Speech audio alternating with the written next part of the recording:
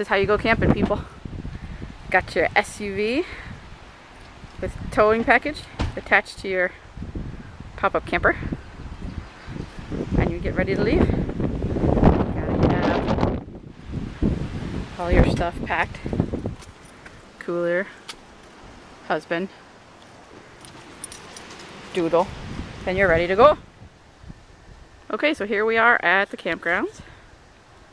Got Shamu unloaded, unhitched, and we have our home away from home setup. Here's the camper. We actually put the awning up this time. Oh, and we've got a very happy doodle because she has no Jack Russells to take the fun toys away from her. She's hanging out. A nice little picnic table. and our little home away from home. Camper. Let's go inside for a little tour. Our little step up. In we come. Floor there. And we got snacks and food in our sink. And a queen size bed on the one side.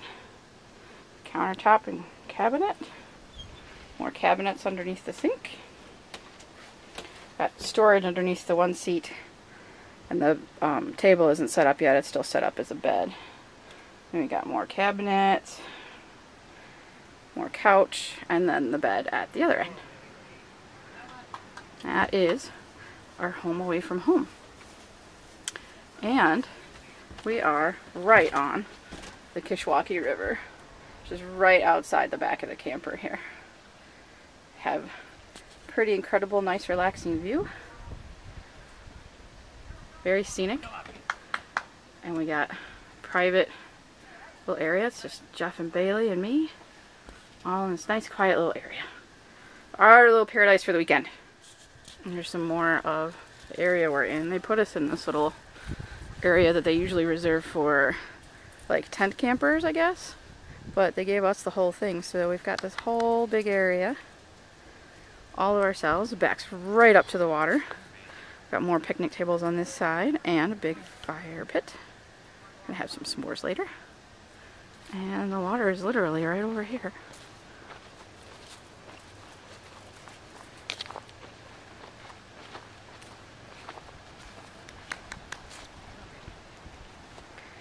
Got quite a drop down.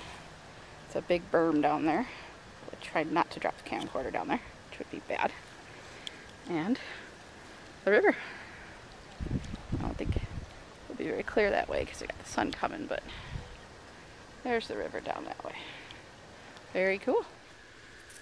Okay, so we've got almost sunset here on the river. It was very pretty as the sun went down, going down.